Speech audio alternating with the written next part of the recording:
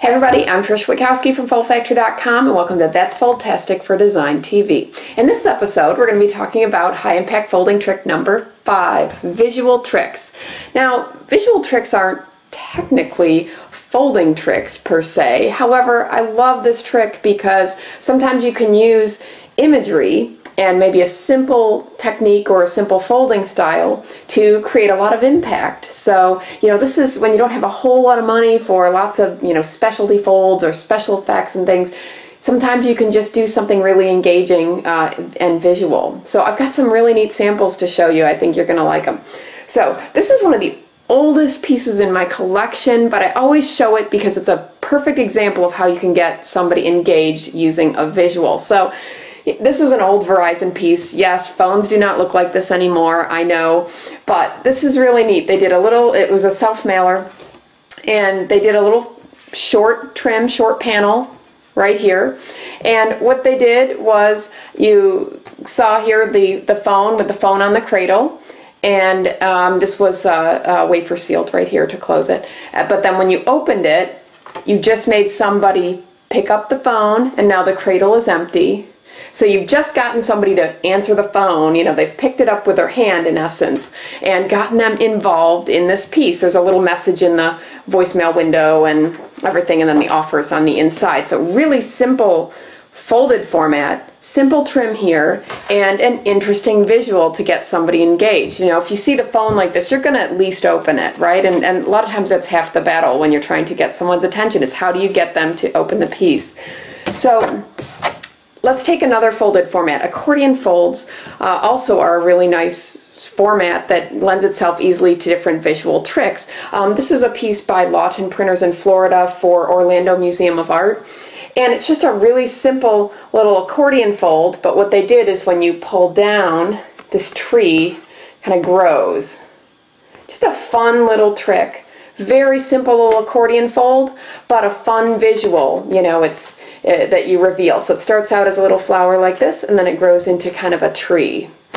So just very cute. You can do some really neat things with that. Here's another um, example. This is a series uh, by Creative Squall for fullcolor.com. And this is a three-part um, series of mail pieces um, that went in envelopes. But I just, I love this too. So their theme was, um, let me see, it was like never go unnoticed.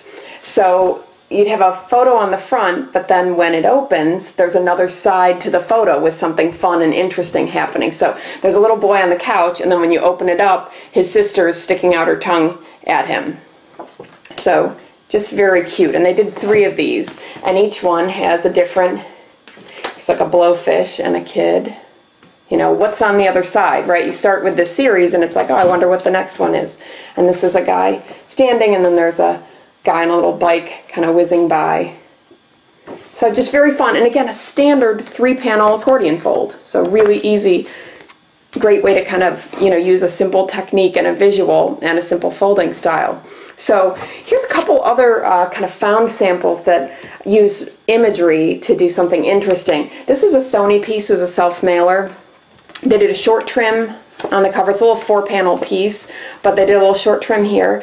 And um, the text says stay in the picture. So they did a really odd crop on the photo and there's an empty chair in the middle.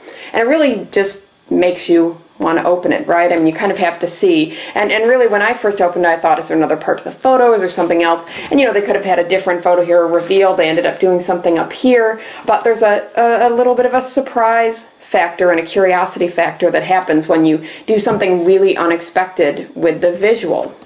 This piece is for uh, Carroll Hospital Center. This was another found piece, a self-mailer. Um, and they have this lady here with a, holding a message.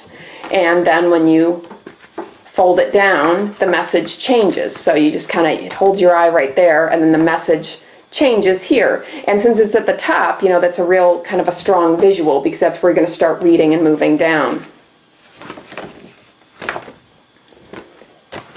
Here's another piece Um, this was for uh, American Express, and this is a gatefold. Now, I will say before I open this one, I don't think they did as much with the visual that they probably could have, but I like showing this one because I think it has potential, so that's why I'm showing it.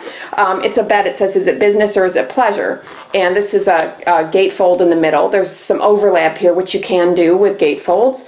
Um, and it was glued like this. So nothing really changes from a visual perspective. I mean, I kind of expected this to open and something to change over here. I think they could have done more from a conceptual perspective, but I wanted to show it because here's a, you know, a different folding style. This is a, a self-mailer again, and you know, you could do something neat with a reveal using a gatefold as well. And so they chose a big visual and they broke the two pillows right down the middle you know, so had some potential, and I think maybe, you know, everybody out there in the audience might be able to do something quite interesting with it.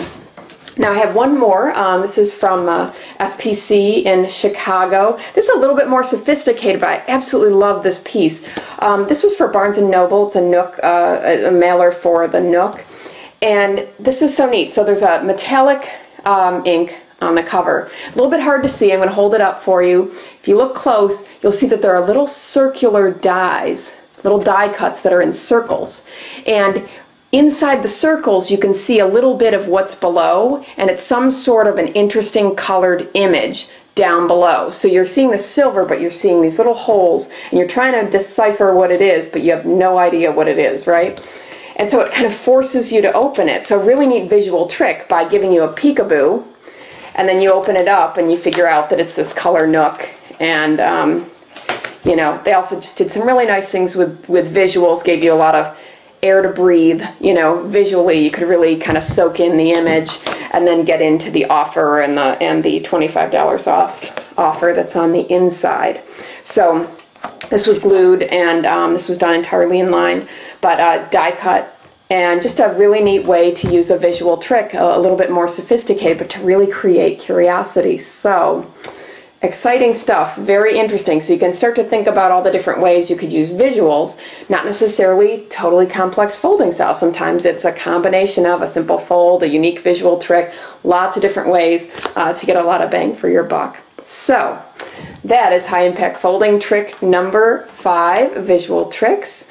Uh, I hope you enjoyed, and uh, thanks for watching That's Foldtastic. Please visit foldfactory.com for more ideas and inspiration and to sign up for my 60 second super cool fold of the week. I'll see you next time. Bye.